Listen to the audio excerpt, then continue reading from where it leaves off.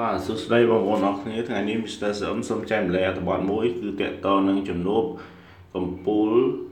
ត្រាំគីមលោកដូណាល់ត្រាំចាប់ដៃមួយលោកគីមជាប្រវត្តិសាស្ត្របាទនេះរូបរូបគាត់ហើយបាទ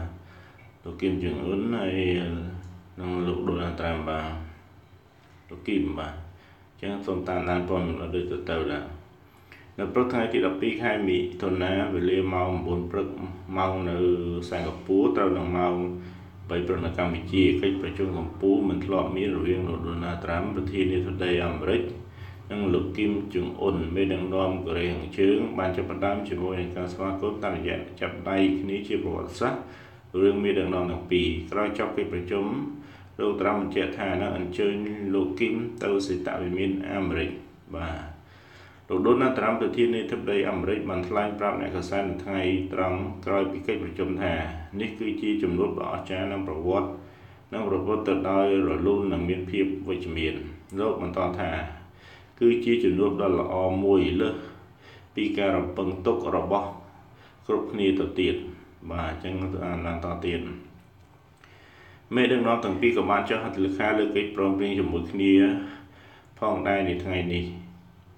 នៅក្រោយកិច្ចប្រជុំកំពូលលោកត្រាំបានបញ្ជាក់ថាលោកនឹងអញ្ជើញលោកគឹមចុងអ៊ុនមេដឹកនាំកូរ៉េខាងជើងទៅសេតវិមានអាមេរិកក្រៅពីនេះលោកត្រាំបញ្ជាក់ថាកិច្ចព្រមព្រៀងនេះពេលនេះនឹងដោះស្រាយនៅបញ្ហាដ៏គ្រោះថ្នាក់របស់ពិភពលោកហើយថាការបញ្ចប់កម្មវិធីនុយក្លេអ៊ែររបស់កូរ៉េខាងជើងនឹងចាប់ផ្ដើមឆាប់ៗនេះ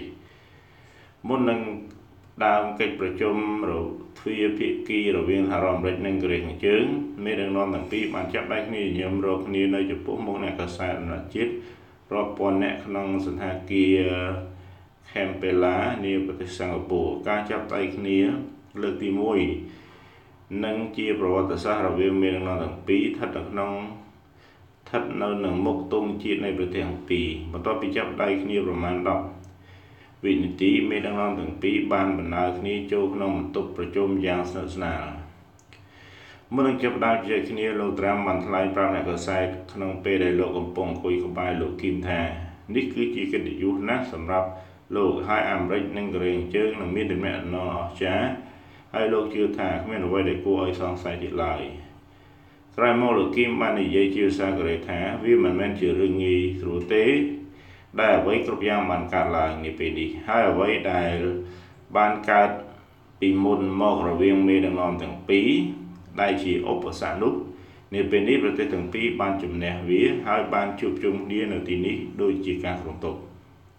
បន្ទាប់ពីការជជែកគ្នារវាងលោកត្រាំនិងលោកគីមដែលចំណាយពេលប្រមាណ48នាទីកិច្ចប្រជុំ ទ្វេភាគីនៃសហរដ្ឋអាមេរិកនិងកូរ៉េខាងជើងបានចាប់ដើមក្រោយពីកិច្ចប្រជុំទ្វេភាគីចប់លោកដូណាល់ត្រាំនិងលោកគឹមចុងអ៊ុងបានពិសាអាហារថ្ងៃត្រង់រួមគ្នាជាមួយនឹងមន្ត្រីជាន់ខ្ពស់នៃប្រទេសទាំងពីរផងដែរនៅថ្ងៃម្សិលមិញលោកម៉ៃម៉ៃផនភីរដ្ឋមន្ត្រីក្រសួងការបរទេសអាមេរិក បានបញ្ជាក់ថាសហរដ្ឋអាមេរិកនឹងផ្ដល់នូវការធានាសន្តិសុខដ៏សំខាន់មួយសម្រាប់រឿងជើងប្រសិនបើប្រទេសនេះបោះបង់ចោលនៅកម្មវិធីអាវុធនុយក្លេអ៊ែរកិច្ចប្រជុំកំពូលនាពេលនេះ គឺជាកិច្ចប្រជុំដ៏ធំមួយរបស់បរោះខ្លាំងទាំងពីរដូចគ្នា ទៅនឹងដំណើរទស្សនកិច្ចរបស់លោកប្រធានាធិបតី Richard Nixon ទៅកាន់ប្រទេសចិនក្នុងឆ្នាំ1972ឬជំនួបកំពូលរបស់លោកប្រធានាធិបតី Ronald Reagan ជាមួយមេដឹកនាំសហភាពសូវៀតលោក Mikhail Gorbachev នៅអ៊ីស្លង់ក្នុងឆ្នាំ1986បាទបើមានព័ត៌មានអីអាប់ដេតតទៅនឹងចំនួនកម្ពុជានេះទៀតខ្ញុំនឹងអាប់ដេតជូនបងប្អូនបាទសូមអរគុណច្រើន